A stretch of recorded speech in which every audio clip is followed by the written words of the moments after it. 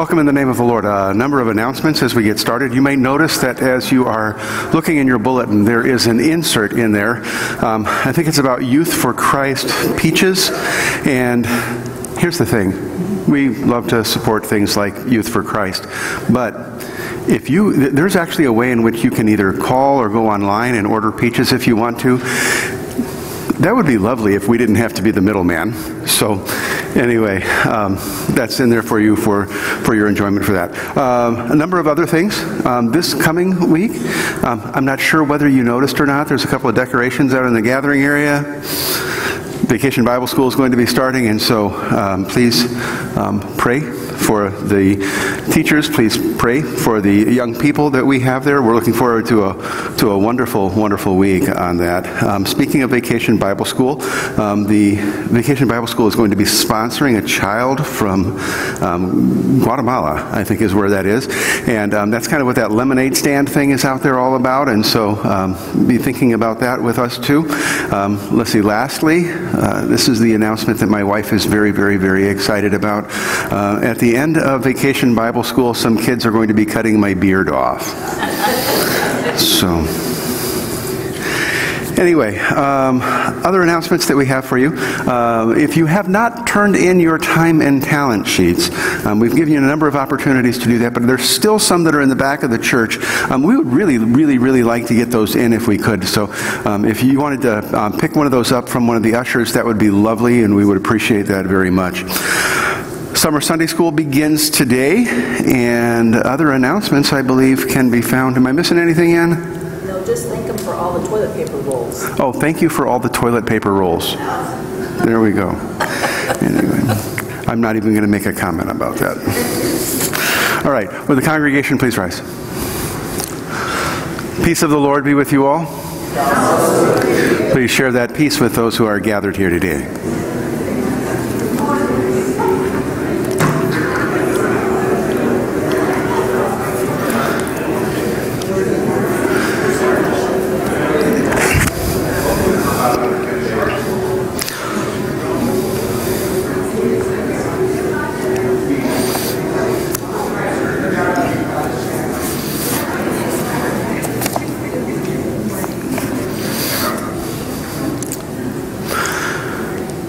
If you are connected with Vacation Bible School this week, if you're going to be helping, I'm going to ask that you would come forward. Otherwise, would you please be seated? We're going to have a little installation service.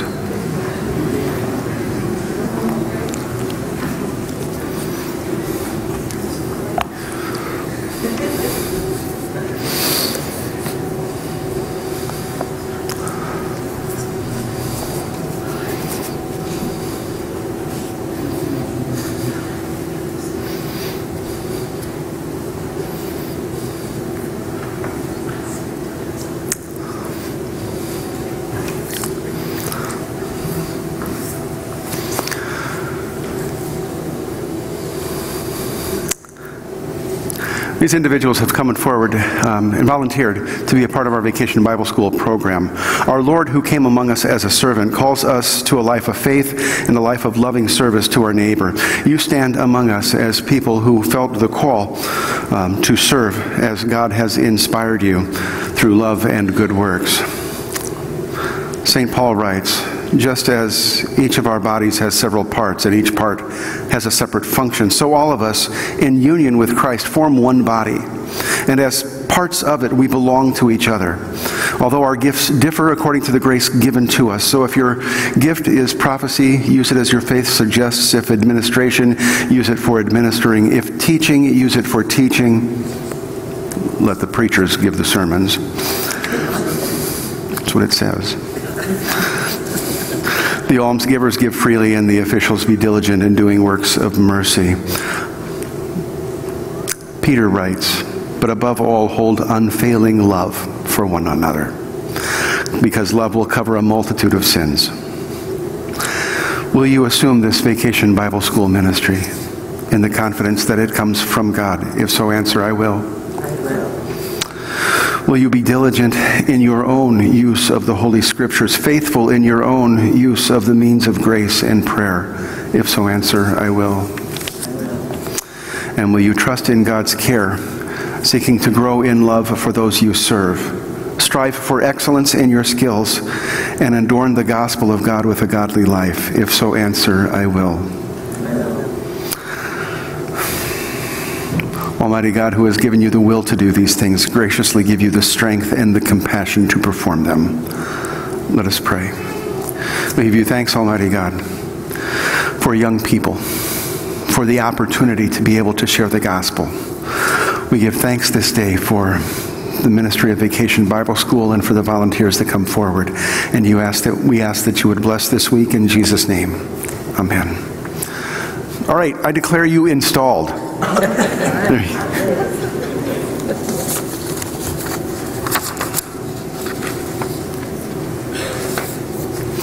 congregation may stand again as we continue with the order for confession and forgiveness.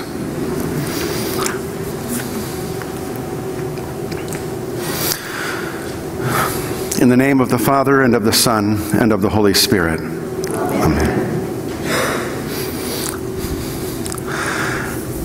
God of all mercy and consolation, come to the help of your people, turning us from our sin to live for you alone. Give us the power of your Holy Spirit that we may confess our sin, receive your forgiveness, and grow into the fullness of Jesus Christ, our Savior and Lord. Amen. Let us confess our sin in the presence of God and of one another. Most merciful God, we confess that we are captive to sin and cannot free ourselves. We have sinned against you in thought, word, and deed by what we have done and by what we have left undone. We have not loved you with our whole heart. We have not loved our neighbors as ourselves. For the sake of your Son, Jesus Christ, have mercy on us. Forgive us, renew us, and lead us, so that we may delight in your will and walk in your ways, to the glory of your holy name. Amen. In the mercy of Almighty God, Jesus Christ was given to die for us, and for his sake, God forgives us all our sins. As a called and ordained minister of the Church of Christ, and by his authority, I therefore declare to you the entire forgiveness of all your sins, in the name of the Father, and of the Son, and of the Holy Spirit. Amen.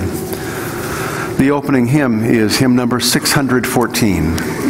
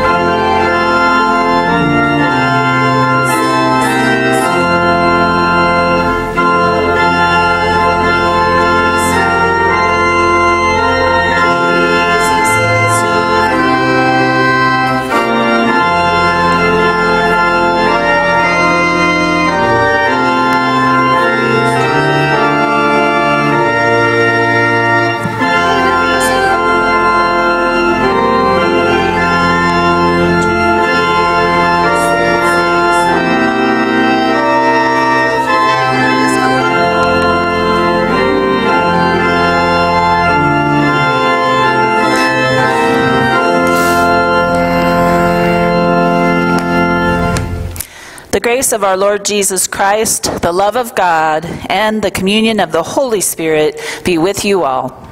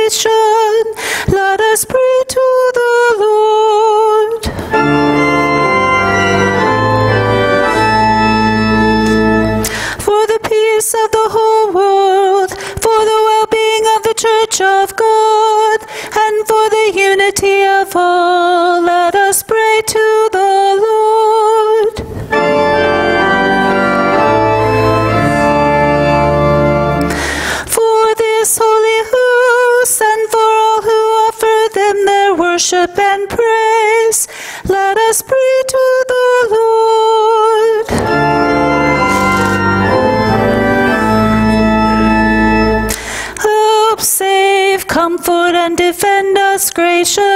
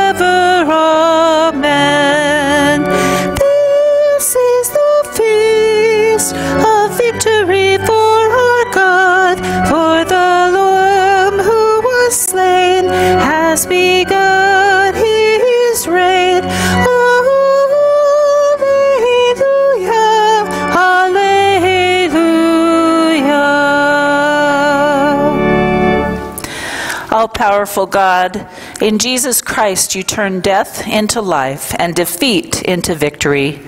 Increase our faith and trust in Him, that we may triumph over all evil in the strength of the same Jesus Christ, our Savior and Lord. Amen. You may be seated.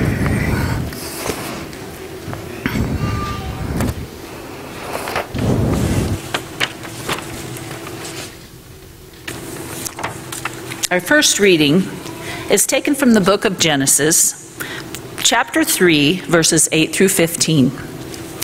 They heard the sound of the Lord God walking in the garden at the time of the evening breeze. And the man and his wife hid themselves from the presence of the Lord God among the trees of the garden.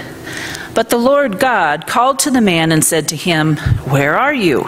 And he said, I heard the sound of you in the garden, and I was afraid because I was naked and hid myself.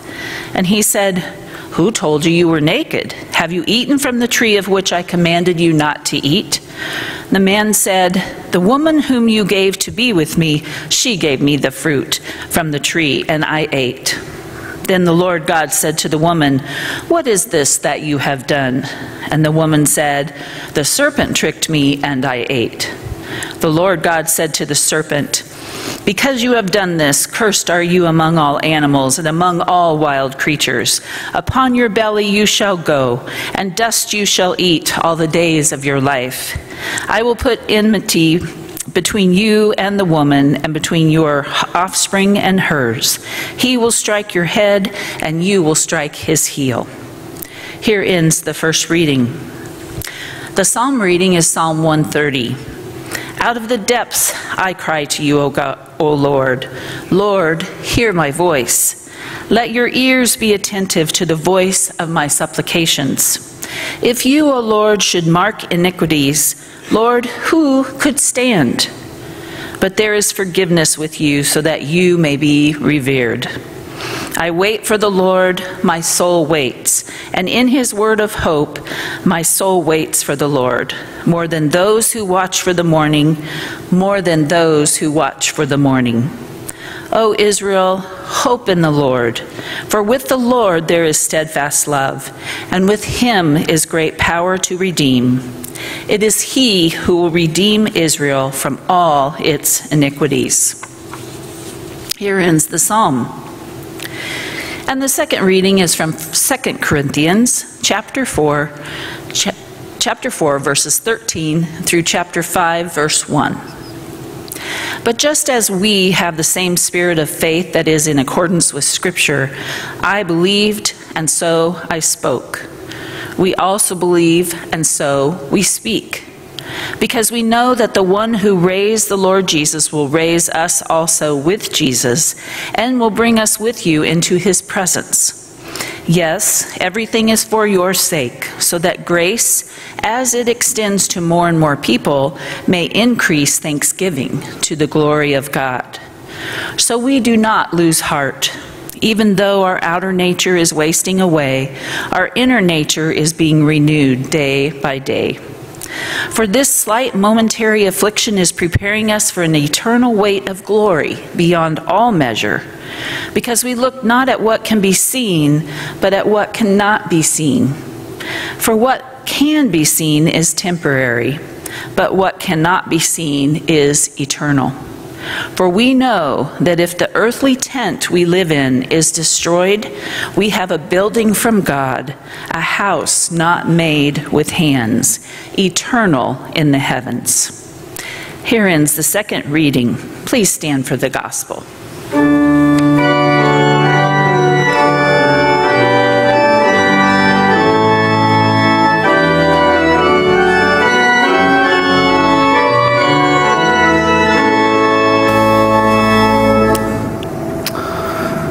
Gospel reading for us this morning is taken from the gospel according to Matthew, the seventh chapter, beginning with the first verse. Glory to you, O Lord. Jesus said, Do not judge, so that you may not be judged. For with the judgment you make, you will be judged, and the measure that you give will be the measure you get. Why do you see the speck in your neighbor's eye, but do not notice the log in your own eye? Or how can you say to your neighbor, Let me take the speck out of your eye while the log is still in your own eye? You hypocrite! Take the log out of your own eye, and then you will see clearly to take the speck out of your neighbor's eye. The Gospel of the Lord. Praise congregation may remain standing. The hymn is number 801.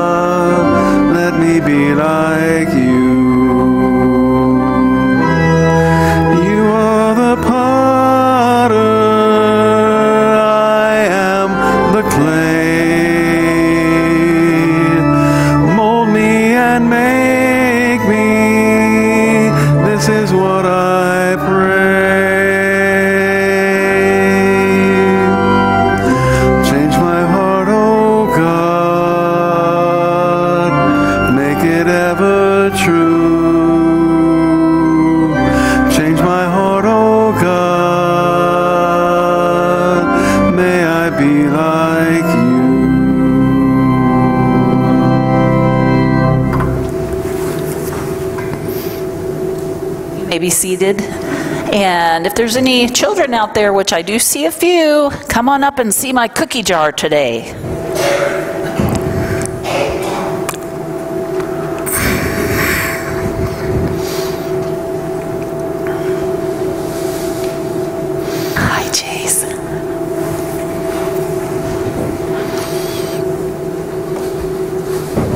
Good morning, everyone. Come sit down by my cookie jar. You like it? Is it kind of cool? Yeah? So come on over, Chase. You can come see it too. So, can you tell me what this cookie jar is shaped like? What is this? A boat. And this boat has some animals in it, doesn't it? So, guess what? The sermon today has nothing to do with Noah's Ark. I just happen to like this cookie jar because what the sermon has to do with today is Adam and Eve. So I want to talk to you a little bit. Adam and Eve were the first man and woman on earth. Earlier I read about them. And they were told by God to not eat of one tree, the tree of knowledge, in the Garden of Eden. And so that's kind of like saying, don't take the cookie from the cookie jar. Do you think there's cookies in here? You don't think so? Do you think there's cookies? Oh, let's check. So we're so curious, aren't we? That's how Adam and Eve were. They were like, oh, look at that really good apple up there. I want to eat it. And so we were looking in the cookie jar, and what do you think we have? Cookies. But guess what? God said, do not eat the cookies. In other words, do not eat the apple on the tree. And Adam and Eve were so tempted to eat the apple on the tree, just like we're tempted to eat the cookies in the cookie jar. That's how they felt. They were like, oh, I know those are going to taste so good, and I'm going to sneak up there and get one. But God said no. He said, do not eat of that tree. You can eat of any tree in the garden. You can have pears and peaches and cherries, but you can't have apples up there if that's what they were. Who knows? We know it was possibly a fruit. Just like we can't eat the cookies from the cookie jar. So, do you think I'm going to let you have a cookie today?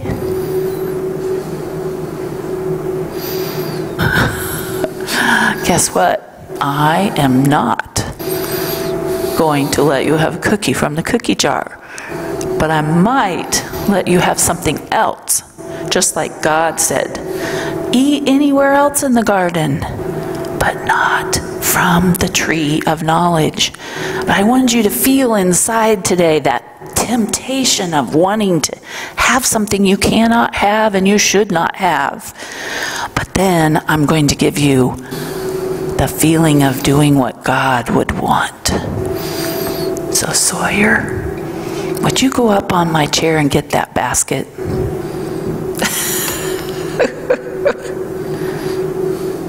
okay, so now I'm not God, but I'm Ann. So we're going to pretend it would be the same as God saying, You can have a sucker.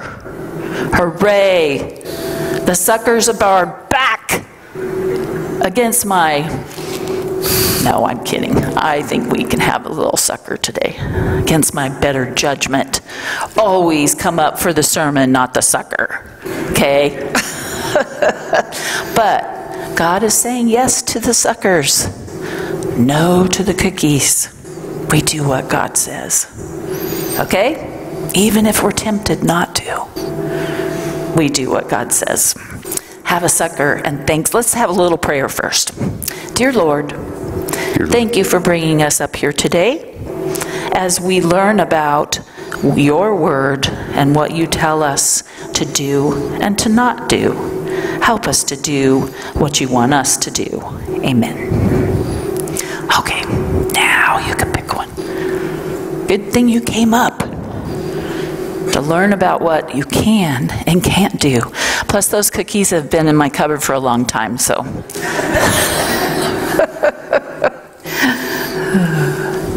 this will be better. Everybody got one? Okay. See, I was thinking maybe we could go ahead and have a cookie because God was watching the apples.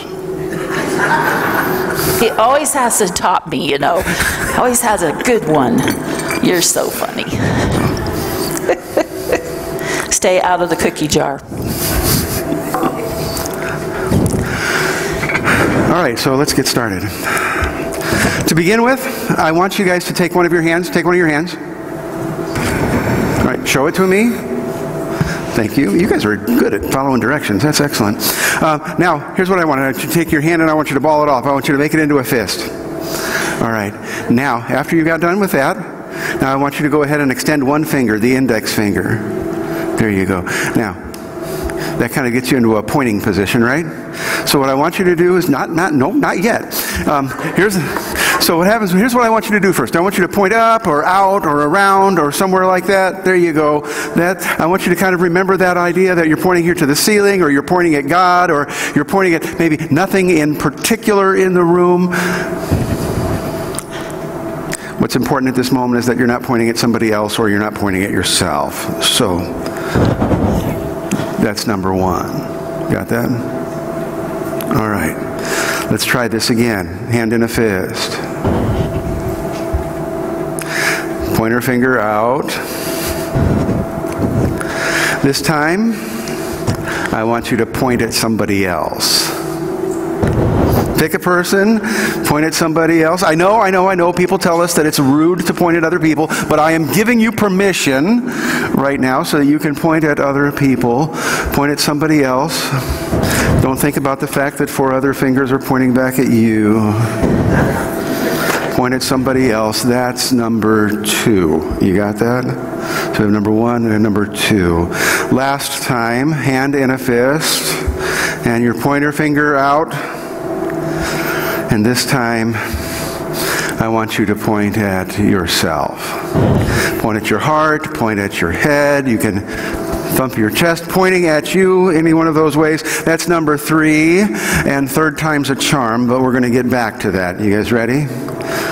So here we go. Thank you. You guys followed directions really well. So, in the book of Genesis,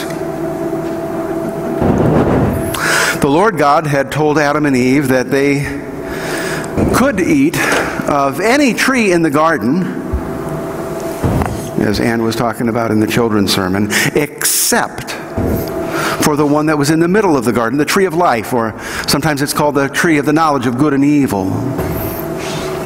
But then there's that whole incident that takes place with the snake and Adam and Eve, and they eat that, that actually brings us to the text that we have for today. The Lord God is walking in the garden at the time of the evening breeze. Isn't that a lovely time of day? I mean, especially when it starts to get hot, the evening breeze kind of comes through, makes everything feel cool. It's wonderful. It's lovely that's going on. Uh, the problem is, is that it wasn't lovely this day for Adam and Eve because they knew that what they had done. So when the Lord God comes walking through the garden at the time of the evening breeze, instead of enjoying the breeze, they hid. God doesn't see them right away, and so God calls out for them. And they tell God that that they hid themselves, and God asks why, and they say it's because they knew that they were naked. Read that as that they knew that they were exposed. They knew that they were laid bare, that others could see what their shame was of what they had done. So they hide.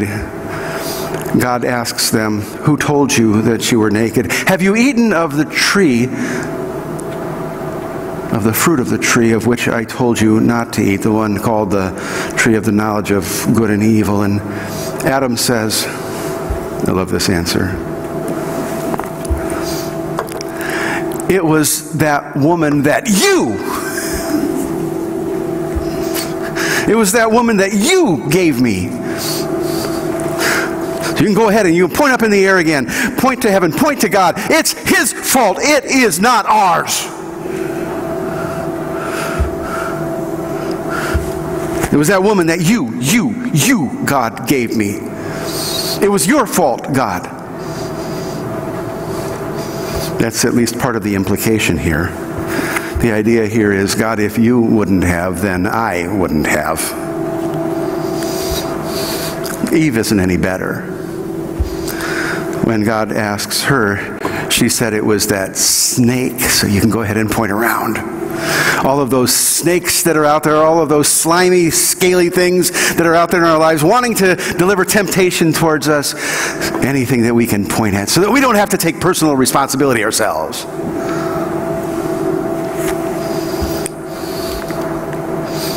That's number one. The gospel lesson for today was taken from Matthew chapter 7.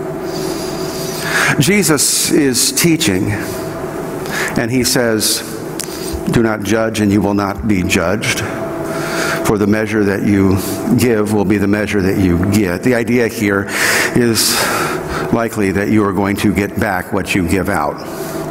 But that's not the part of the text I want to concentrate on. Instead, the part that I want to talk about is the part about specks and logs and eyes.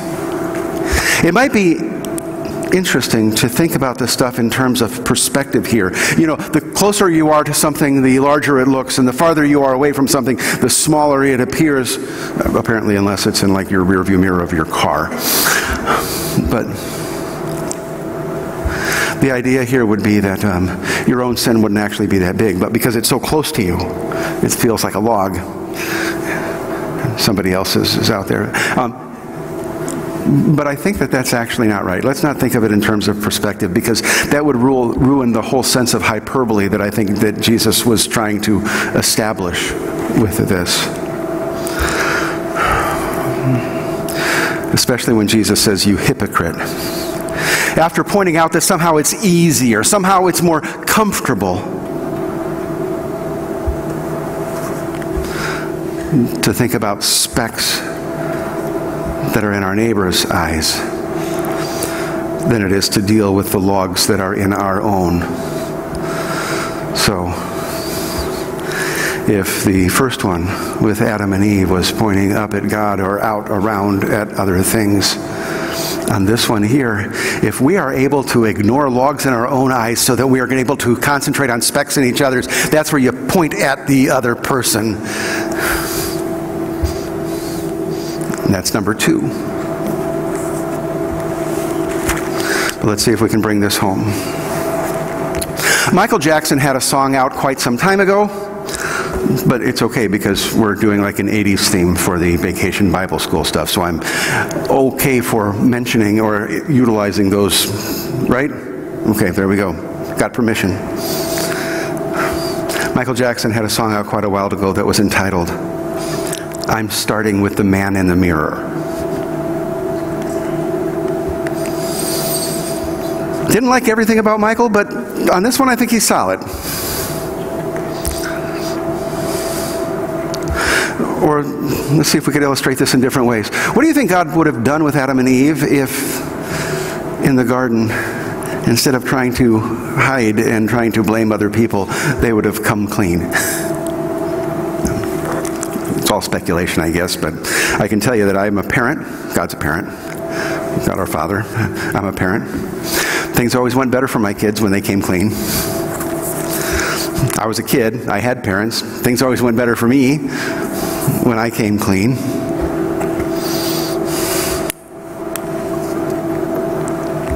Maybe if they would have started with the man in the mirror. I want to take a look at Jesus' words in Matthew 7 when he's talking about that whole specks and logs and eyes thing. He ends by saying, First, take the log out of your own eye. That's confession. And without it, sin is obstructing your view, so you won't be able to help your neighbor see more clearly anyway in getting the speck out of their eye because the log is too large in your own. That was number three. I told you the third time's the charm, right? Here's why. I don't find it very charming for people to go around in life blaming God or blaming all of the rest of the snakes that surround them for everything that goes wrong and never taking responsibility for themselves. That's number one. And I don't think it's very charming when I see people who are going around looking at specks in everybody else's eye and pointing the finger at them. That's number two. But I think that it is charming. I think it is endearing. I think it's humbling to see somebody make a confession. I think that those types of things are important for us to do because, first of all, it's not that God can't forgive even if we forget confess. It's just that if we confess and by naming it, it means that we're asking God to help us overcome it and not do it again. It's that by not admitting that we have any sin, we are rejecting God's mercy and God's forgiveness, but by opening ourselves up to the possibility that what has happened may have been our fault we are inviting God's love and grace to flow in us. And we're also inviting the strength that He gives so that we won't repeat what we have done in the past. And I think that is why number three, not only is number three a charm, but I think that's why confession is good for the soul. So, congregation may stand as we sing the next hymn. It's as easy as one, two, three.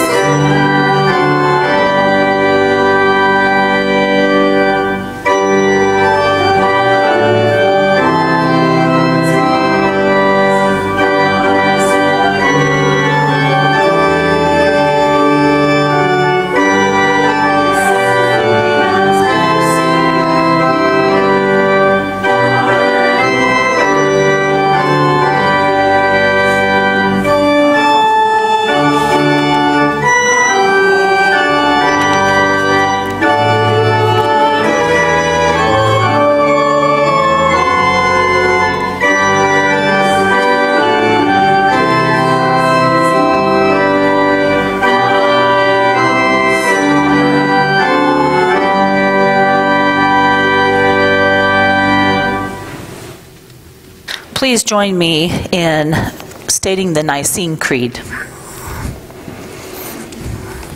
We believe in one God, the Father, the Almighty, maker of heaven and earth, of all that is seen and unseen.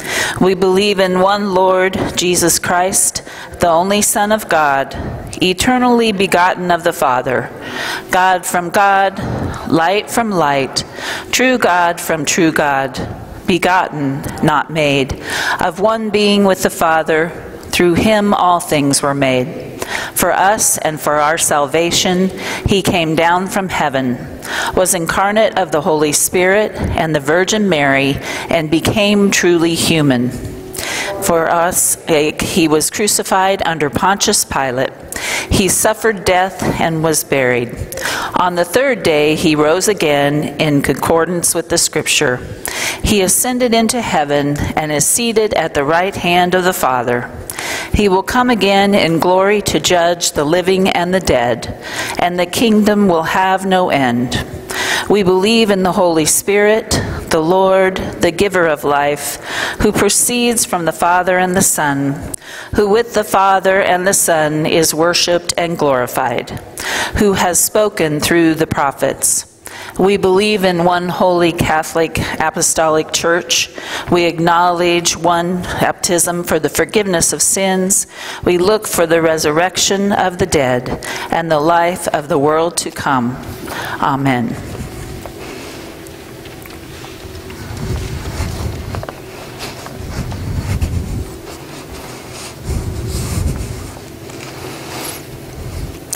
Let us come before the triune God in prayer.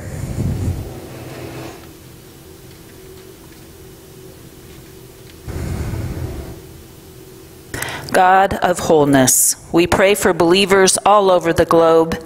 Unify us in service of the gospel, that we may work together as beloved siblings to share your love with all. Lord, in your mercy, hear our prayer. God of the cosmos, we pray for creation, the gardens, waterways, and creatures near to us, and diverse forms of life that remain unseen. Teach us to treat the natural world with reverence. Lord, in your mercy. God of all people, we pray for harmony among the nations. Cast out from us unclean spirits of greed and fear, that we may work in solidarity with one another for the common good. Lord, in your mercy. God of abundance, we pray for those who are oppressed or are in any need. Encourage those who have begun to lose heart. Strengthen and renew us with your spirit, especially Susan Clokey. Lord, in your mercy. God of righteousness, we pray for this holy house of worship.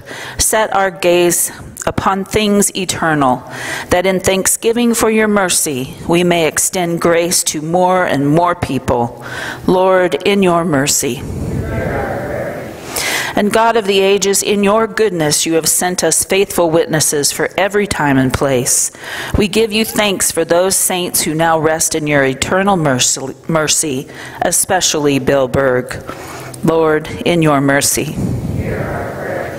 We lift our prayers to you, O God, trusting in your abiding grace. Amen.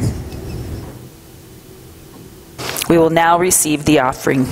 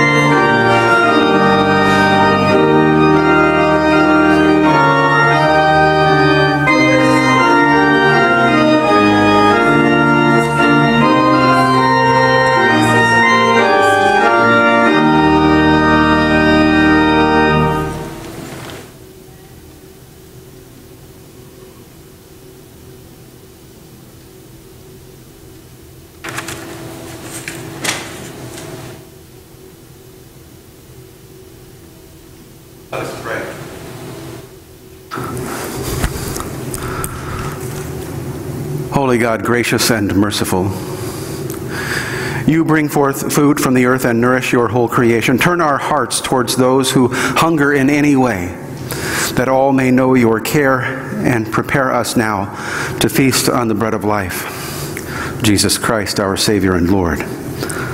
Amen. The Lord be with you.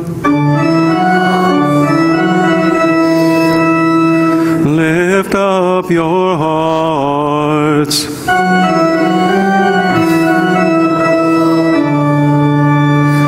Let us give thanks to the Lord our God.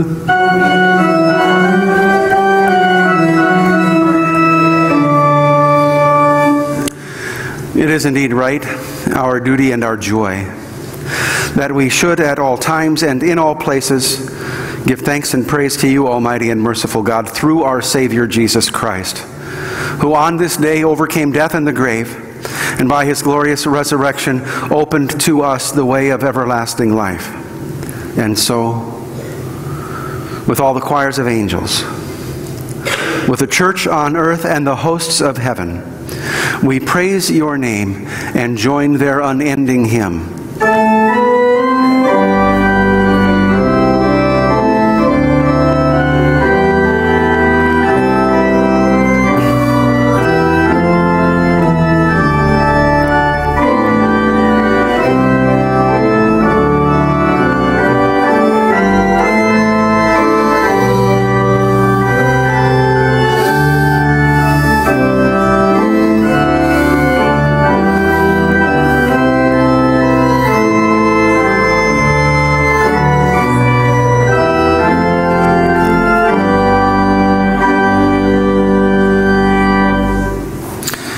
Night in which he was betrayed, our Lord Jesus took bread, gave thanks, broke it, and gave it to his disciples, saying, Take and eat. This is my body given for you. Do this for the remembrance of me. Again, after supper, he took the cup, gave thanks, and gave it to all, saying, Take and drink. This is the new covenant in my blood, shed for you and for all people. Do this as often as you drink it in remembrance of me. For as often as we eat of this bread or drink from this cup, we proclaim the Lord's death until he comes. Let us pray as Christ has taught us to pray. Our Father, who art in heaven, hallowed be thy name. Thy kingdom come, thy will be done, on earth as it is in heaven. Give us this day our daily bread, and forgive us our trespasses, as we forgive those who trespass against us. And lead us not into temptation, but deliver us from evil. For thine is the kingdom, and the power, and the glory, forever and ever. Amen. Congregation may be seated. Please follow the instruction of the ushers.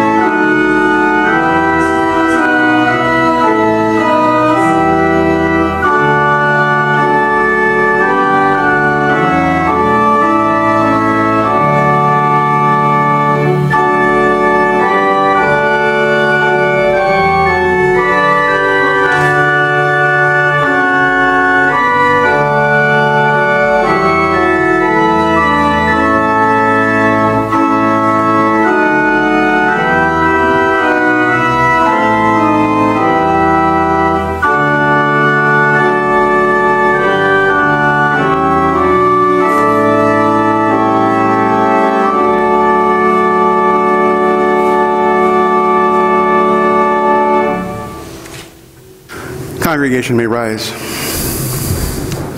Body and blood of our Lord Jesus Christ strengthen and preserve you in eternal life. Amen.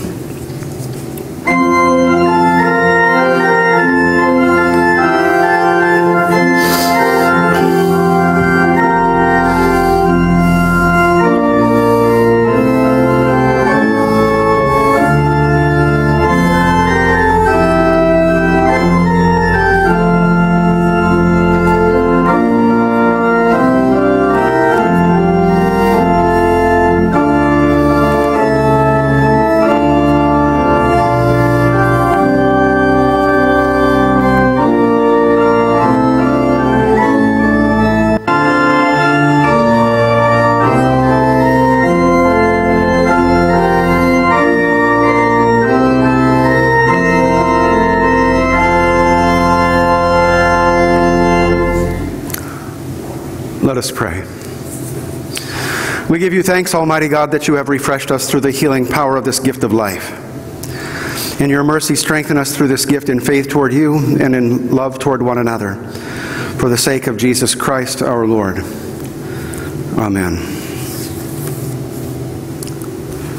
Now, the Lord bless you and keep you. The Lord make his face shine upon you with grace and mercy. The Lord look upon you with favor and give you his peace in the name of the Father and of the Son and of the Holy Spirit. Amen. The closing hymn is number 543.